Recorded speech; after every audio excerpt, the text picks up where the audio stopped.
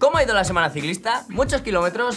Vamos con el programa de GC en español número 22. ¿Cuál es el menú para hoy, Mai? Bueno, como estamos casi ya en Navidad, esperemos que todos tengan los regalos listos. Pero si no, no se preocupen, que en este programa les hablaremos un poco de las modas que vemos para el próximo año.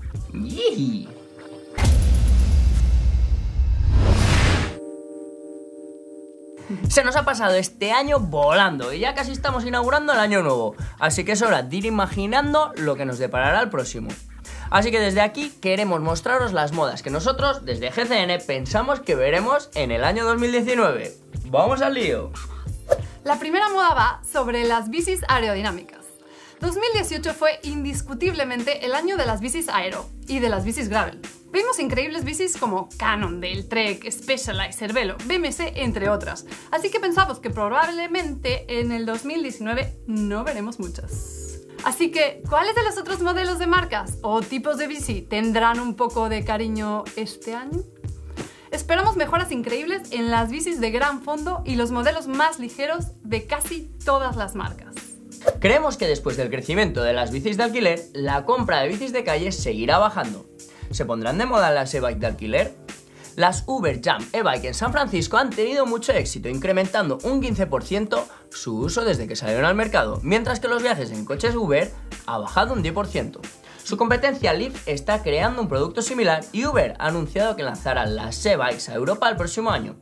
¿Conquistarán el mundo de las bicis públicas de alquiler?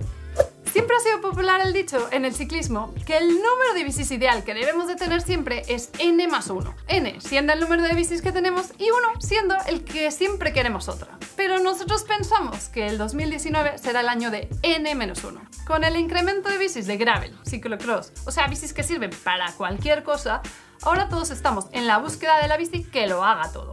¿Y quién no le gustaría simplificarse la bici, tener más espacio y ahorrarse un buen dinero y en general pasar un gran rato? La próxima temporada veremos un cambio en cómo los puntos del World Tour y del ranking general se deciden. Y creemos que estos cambios nos harán interesarnos más en el World Tour y no solo en las carreras individuales. Para empezar, los puntos que se ofrecían han cambiado ya para ciertas carreras, poniendo más énfasis en las grandes, las clásicas y en los grandes tours y menos en las carreras pequeñas por etapas. Los puntos UCI también servirán para decidir las dos wildcard o invitaciones que se otorgan a los equipos de primera división para que participen en las carreras World Tour. Esto significa que deberíamos ver a los mejores corredores en cada carrera y también a los equipos del país que otorga. Ah, y también los equipos con menos puntos UCI ese año serán sustituidos. Pinta muy bien, ¿no? El 2019 será el año que veamos a varios ciclistas de carretera competir en distintas disciplinas y eventos que no sean UCI. Sí, con corredores como Wood Van Aert o Palin Ferran Prevot o Iván Cortina, que ya compiten en Red Hood Creed, ciclocross y montaña. El próximo año será el que por primera vez veamos un equipo World Tour hacer un esfuerzo porque esto sea más común, ya que el EF Education First ha anunciado sus planes para competir en eventos como el Dirty Kansas, el Red Hood Creed, aparte de las carreras convencionales. ¿Será esto el inicio de una moda? Para el 2019 pensamos que el XCO se convertirá en el evento top de bici de montaña superando ya el descenso.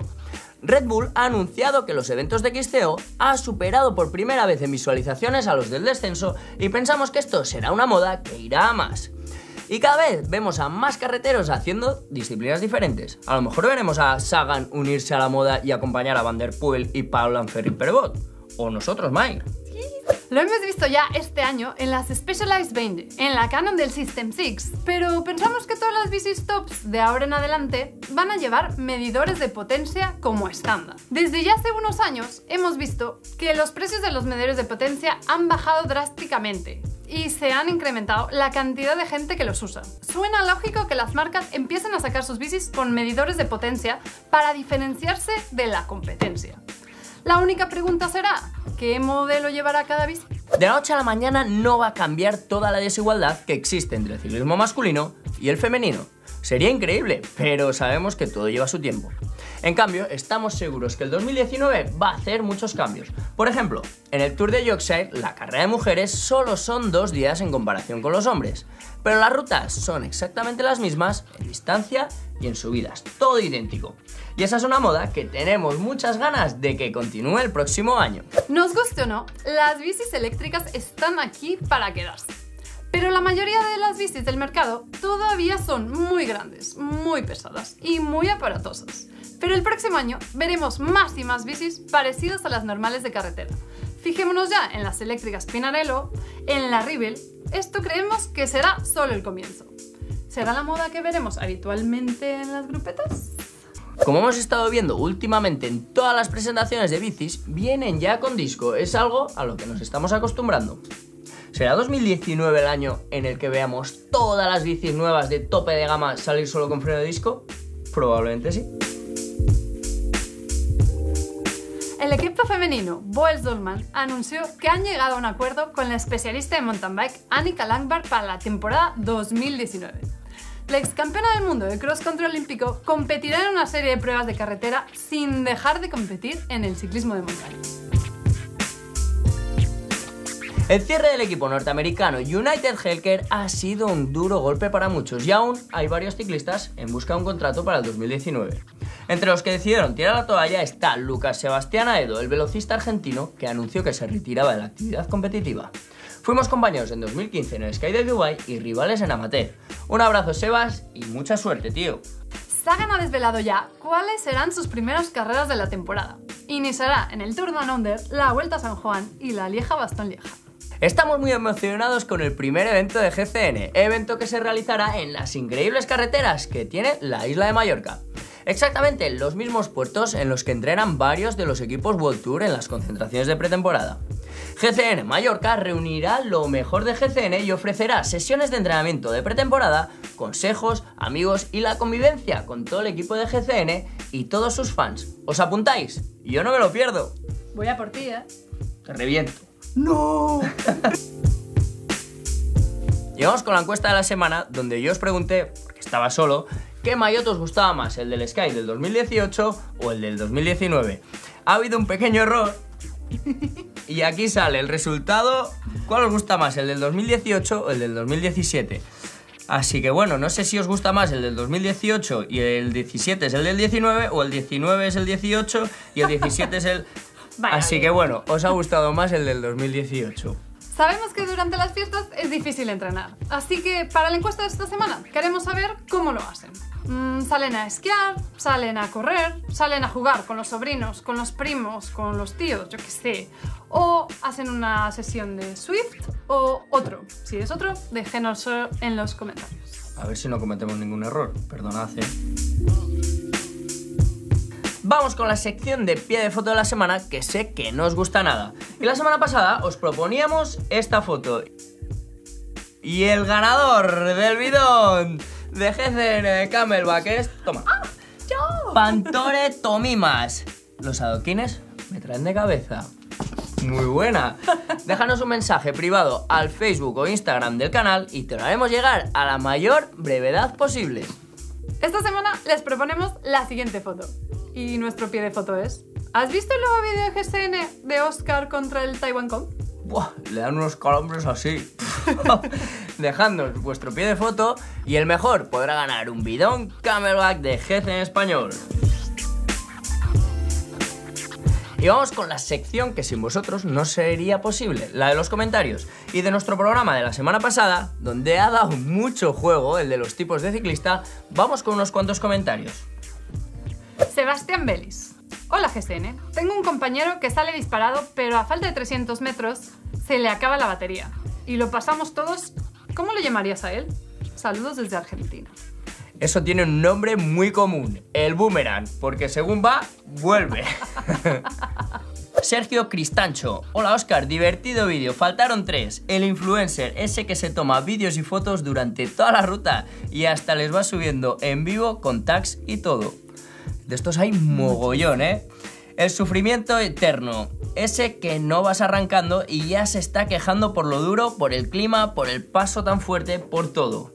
ese todos tenemos uno la grupeta también. El capo.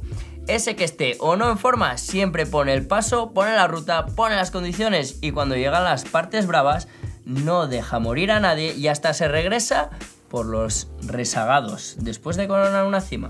Ese soy yo. Santiago Falcón, el ruedero. va tras rueda y te sprinta en los últimos metros. Buf, es lo que más rabia me da. Lo odio. Oh.